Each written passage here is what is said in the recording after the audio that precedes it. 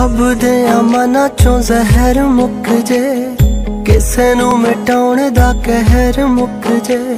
ਸਭ ਦੇ ਮਨਾਂ ਚੋਂ ਜ਼ਹਿਰ ਮੁੱਕ ਜੇ, ਕਿਸੇ ਨੂੰ ਮਿਟਾਉਣ ਦਾ ਕਹਿਰ ਮੁੱਕ ਜੇ। ਅਰਦਾਸ ਕਰਾਂ ਹਾਂ, ਅਰਦਾਸ ਕਰਾਂ, ਹਾਂ, ਅਰਦਾਸ ਕਰਾਂ।